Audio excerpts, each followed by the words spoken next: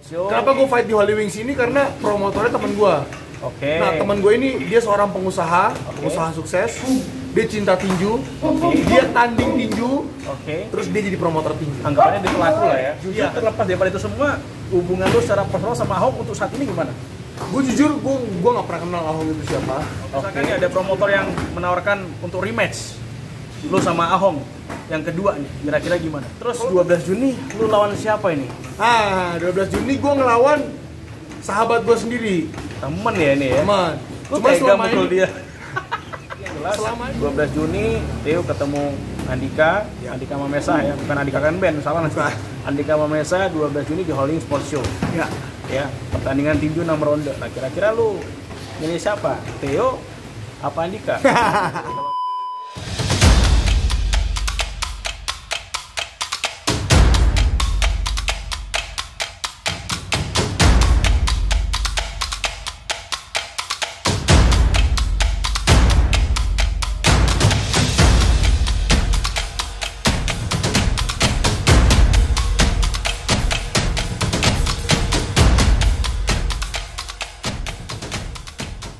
Sekarang kita ngomongin tentang fight ya. Fight.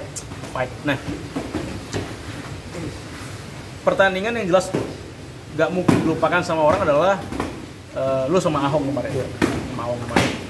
Dan lucunya juga waktu lu persiapan pas di Bali ya. Pasti balik ketemu Di lu. Bali ketemu saya, Bokap lu, bokap lu. ketemu bapak saya juga. Dan saya waktu itu bilang begini sama Theo, udah men, percaya, gue yakin lu pasti menang. amin, amin dia bilang gitu. Dan eh, ternyata terbukti ya. Benar. Puji syukur alhamdulillah lu bisa jadi juara. Ya. Setelah persiapan dengan Cywar dan lu fight di situ, bahkan after fight pun dia juga masih banyak orang yang gosip sana sini memframing lu seakan-akan fighter yang gimana. Tapi jujur terlepas daripada itu semua, hubungan lu secara personal sama Ahok untuk saat ini gimana? Gue jujur, gue gue nggak pernah kenal Ahong itu siapa. Oke, lu cuma tahu pada saat fight doang. Gue tahu dia latihan di uh, Celebrity Fitness di dekat rumah gue, Jakarta ya? Jakarta. Jakarta. Cuman become personal karena dia nggak bawa isu pribadi kan waktu itu kan. Cuman ya udah udah lewat. Cuman gue Aha. udah no hard feeling. Kita udah move on, Oke. jalan. Jadi anggapannya untuk saat ini lu nggak ada Gak ada, gak ada, gak ada, udah gak ada masalah lah. Mhm. Kita kan semua udah udah berumur juga lah, gak ada masalah. Itu udah gede ya? Iya. Terus juga akhirnya kan gue merasakan kekalahan juga kan kemarin kan akhirnya. Oke. Ya, jadi gue banyak belajar lah pendewasaan gue udah banyak lah di sini. Banyak banget. Kalau misalkan nih ada promotor yang menawarkan untuk rematch lu sama Ahong yang kedua nih, kira-kira gimana? Kalau gue sih simple ya, 12 tahun gue berjuang buat nothing Oke. dengan bayaran nothing. Gue simple. Apa tawarannya? Selama itu masuk Good. akal, make sense. Gue nggak perlu pusing-pusing lagi nyari sponsor. Oke. Gue nggak perlu pusing-pusing dibilang pertandingannya mundur ya. Sampai 2 tahun digituin, nggak perlu lagi. Fix kapan? Iya, oke deal harga gini, lu dapat ini ini ini. Selama ini, angka ini, cocok, ini, ini. Ya. Man. why not? Wah, mantap tuh. Kan ada sponsor ini, ada promotor yang tertarik ini ya. Udah ada, udah ada, Ren. Udah ada nih. 12 Juni. 12 Juni nih, 12 gua Juni. ngasih tahu nih untuk pertama kalinya di teman-teman yang mungkin nggak tahu nih. Jadi Theo bakal kembali lagi, tapi bukan ke cage ya, Cuman kering kering, tinju. kering tinju kembali lagi ke. Itu berarti udah berapa tahun lu nggak tanding tinju nih? 2014 terakhir. 2014 terakhir tanding tinju, Eh, sekarang eh, sorry, sorry, sorry, bro. 2018 terakhir. 2018 dan sekarang kembali ke tinju lagi. Iya. Tentu pasti persiapannya beda dong. Anggapannya lu lu lu di MMA udah beda. Beda, beda, beda, beda, dengan beda, beda, beda, Pola beda, latihan yang intens temponya Beda. kenceng banget. Nah, itu gimana persiapannya? Tapi kebetulan kan emang uh, uh, striking yang paling gue unggulkan itu adalah latihan tinju dulu. Dari dulu ya. Iya, jadi kita memang menyempatkan seminggu sekali kalau lagi ada fighting camp, nggak ada fight camp juga sama, Hmm. tapi intensnya lebih rendah. Kita menyempatkan 12 ronde sparring tinju. Selalu menyempatkan. back to basic lah ya. Back to basic karena menurut gue yang paling efektif itu buat kelas-kelas gede seperti gue. Hmm, Oke. Menurut gue ya, menurut gue. Siap, siap, siap. siap. Nah, ngomongin tentang tinju. Terus 12 Juni lu lawan siapa ini? Ah, 12 Juni gue ngelawan sahabat gue sendiri, Temen ya ini ya. teman. Lu Cuma tega selama mukul ini, dia. Selama ini bro, yang kita berdua, kenapa kita berdua ngambil fight ini? Selama ini kita dipelintir sama netizen. sama ya adalah Framing, pihak-pihak media yang framing nggak ya? kita sebut, Oke. ya kan? Di Twitter gimana tuh? Contoh aja satu ya. Dipelintir kayak gue pilih-pilih lawan. Oh, Perasaan Gua- kan lawan kan yang itu kan pasti dari panitia dong, Nah dari makanya, matchmaker dong. nah makanya antara gue dan Andika katanya milih-milih lawan. Terus katanya gue ini apa artis sindrom. Terus katanya gue teman baik, jadi teman baik nggak mau fight. Gak mau fight. Padahal obrolan sebelum itu dikeluarkan itu Aha. udah ada obrolan, tapi kita memang minta gini loh, kayak kalau emang harus kita fight, Mhm. apa nih yang kita dapat? Nah, itu sih. Soalnya kan memang di nanti nanti kan. Betul, betul, betul. Sejujurnya setelah gua Ahong itu yang paling dinanti Aha. fight gua dengan dia Oke. yang paling Di dinanti. One Pride ya. Di One Pride. One eh di ah, ya di situ. Oke. Di situ.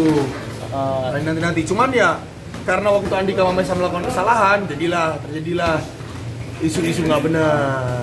Oke, dan tapi terbukti tanggal 12 nanti akan menjadi pertandingan pertama lu dengan dia. Pertama gue dengan dia. Cuman tinju ya, bukan tinju, MMA ya. Tinju. Tinju. Kebetulan gue sama M kan teman sparring kan. tinju. Kita berteman baik karena sparring. gue secara personal gak kenal, cuman gue tahu dia karena kan dia juga eh, muridnya David Kapap ya, Krav Iya. Maga ya. Iya, gue cuma tahu doang sih dia juga sering gue lihat dia latihan boxing terus. Iya iya iya iya. Dari usia sama lu lebih tua mana? Sama? M tuh di bawah gua 5 tahun kayaknya. Wah, masih muda dia kan. 5 apa 6 tahun. Terus untuk persiapan lu pasti di Bali ya? Di Bali. Persiapan di Bali ya. Di Bali enak banget kayak gue bisa latihan di sini. Pantai. Kemarin kemarin di pantai. Terus Bali MMA juga sekarang terbuka banget gue latihan. Kasih support juga ke lu Masih ya. support banget, baik banget mereka ke gue. Senang Dan- juga gue. Nanti selama 12 Juni ini harapan apa yang lo inginkan pada saat pertandingan nanti? Semoga gue bisa menang sih. Berapa ronde? Hasil terbaik 6. 6 ronde. Itu di mana mainnya? Mainnya di Holy Wings. All Wings Sports Show. All Wings Sports Show. Kenapa gue fight di Holy Wings ini? Karena promotornya temen gue. Oke. Nah teman gue ini dia seorang pengusaha, pengusaha sukses. Dia cinta tinju, dia tanding tinju, Oke. terus dia jadi promotor tinju. Anggapannya dia pelaku lah ya. Iya. Bukan cuma promotor modern Iya. dong, tapi pelaku dan dia juga mungkin tahu ngeliat kondisi tinju di Indonesia udah mulai Udah mulai miris lah. iya, ada sama dia di, diangkat lagi lah. diangkat. Menurut gue dia mengangkat banget karena gak pernah ada di Indonesia ini selama gue berkarir ya, itu. Ya. dia ngasih banyak banget percentage buat kita yang kalau view lu bagus lu dapat sekian. Kalau ini lu bagus lu dapat sekian. Gila. Dan dan itu anggapannya eh, dibandingkan dengan waktu lo main di MMA sebelumnya sama yang ini kira-kira gede mana? Ini dong. Wah jauh men. Jauh dong. Jauh. Berarti ini lebih lebih proper lah. Dude, gue fight 6 ronde, which is menurut itu peringkat ya, Ya, oke. tanding peringkat. Bayaran gue jauh kalau gue menang di one fight. Jauhnya bukan jauh, jauh. Berarti jauh banget. Jauh kalau gue fight di MMA, jauh banget. Luar biasa. Apakah perlu saya kembali latihan kembali? Jadi promotor ini kan eh, si si teman teman gue ini Ko Armin Ah, dia ngasih advantage kita buat ngebantu boost juga fight itu terus kita bisa ngambil keuntungan dari dari yang fight kita boosting. Oh, oke. Itu kalau nggak salah eh, selalu kayak partai eh, yang kemarin partai utamanya yang Vicky sama Ali. Iya iya iya iya. Buat Sebenarnya kan setelah itu kan ada kejuaraan dunia kan? Oh iya iya, iya. ada yang meninggal juga kan nggak Iya, salah. ada yang meninggal juga Helkito almarhum. Gitu. Wah ini nih seru. 12 Juni perlu bisa nonton langsung kan di sana ya? Bisa langsung. Bisa langsung sana Pay per atau YouTube juga. YouTube juga bisa. Tiket juga bisa. Ingat pokoknya apa pun yang kalian lakukan, bayar YouTube, beli tiket, beli meja, itu nge-support fighter-fighter kalian buat maju. Wah itu. Ini kita perlu edukasi juga loh bro. Iya, iya, iya, Saatnya iya. masyarakat kita kalau mau atlet maju, jangan cuma mengharapkan promotor juga, Iya, iya. tapi kalian juga membeli. Jangan setengah-setengah lah ya. Iya dong. Totalitas, totalitas. Benar. Karena gue yakin juga pasti yang disuguhkan juga pertandingan yang tentu ya pastinya greget lah, nggak nggak Greget. awu-awu, Iya. nggak nggak bercanda-bercandaan. Benar benar. gue juga lihat kemarin partai sama Aldi sama Vicky ya, wah kacau. tapi lumayan view-nya men. Tapi nanti akan ada lagi nggak celebrity match? Nah kita belum tahu. Masih belum tahu ya, Belum tahu, masih ya. belum tahu ya. Jadi yang pasti yang jelas 12 Juni Theo ketemu Andika, Ya. Andika Mamesa ya, bukan Andika kan band, salah nanti. Andika Mamesa 12 Juni di Holding Sports Show. Ya. ya pertandingan tinju 6 ronde nah kira-kira lu milih siapa Theo apa Andika kalau gue sih jujur gue milih Theo temen. Kalau gue milih sana dia di sebelah gue mas Remen. Gue gue kena cok Parah parah Randy parah. Kacau Randy. nah anggapannya gini dan eh, lu kapan kira-kira bakal pensiun? Gue belum tahu karena Holy Wing eh, promotor uh, Ko Armin ngomong kalau misalkan gue bisa menang, gue mau di play lagi di setiap event yang dia punya. Wah, Kalau soalnya ya? dia, dia dia menurut gue dia cengli banget sih ngebayar bro. Terlalu cengli sih menurut gue. Tapi cuman oke, gue dapat kesempatan kayak gini, gue nggak mau ngecewain orang-orang kayak gitu. dan anggapannya juga kapan lagi dapat peluang Iya, seperti ini kan? ini balik lagi, gue gue si jiwa kompetitif gue sempat hilang udah 2 tahun semenjak gue fight 2019 jiwa kompetitif gue hilang karena terlalu banyak ayu ayu ayu kebanyakan. Polemik gak ada dan apa-apa gitu. gimmick-gimmick gitu ya. gak ada apa-apa. Kalau banyak gimmick tapi kita punya penghasilan baik ya nggak apa-apa. Ini udah gimmick terus aduh penghasilannya dikit. Ya makanya. Di politik ya. ini udah tua lagi gue kan anak udah dua. Lemes man Dan eh, terakhir nih mungkin nih dari lo apa harapan lo untuk eh, lokal fighter ya, baik itu tinju, MMA, Muay Thai. Karena kan jujur anggapannya yang gua rasain juga waktu gua nyoba berkecimpung di organisasi baik itu amatir maupun profesional kan selalu politik banget di situ. banget kan iya bener Sehingga fighter-fighternya yang akhirnya kasihan juga kan. ya benar Kayaknya kayak ya sudahlah pokoknya lu tanding kayak gini, pokoknya nggak dapat ya sudah. Iya. Harapan lu seperti apa tentang Harap- olahraga bela diri lah di Indonesia? harapan gue sih kepromotoran organisasi kepengurusan olahraga bisa semakin maju karena tanpa mereka kita yang nggak bisa maju percuma punya SDM bagus kalau terima kasihnya juga nggak bagus kedua masyarakat juga lebih aware sama kebutuhan atlet jadi apa apa support kayak atlet jual produk Iya. atlet tanding dibayar tiketnya gitu gitu semoga kesannya lebih baik Baik sih gratisan aja ya. iya Sekarang berat menonton men. tinju gratisan aja belum tentu ada yang mau nonton. bener Ya kan? Jadi ya harus inilah coba pola pikirnya dirubah gitu. Bener. Masa badminton bisa jaya di Indonesia kita olahraga bela diri nggak bisa ya? Iya. Lucu banget tuh. Padahal sebenarnya olahraga bela diri jujur aja itu salah satu cabur yang seru ditonton loh. iya bener ya kan?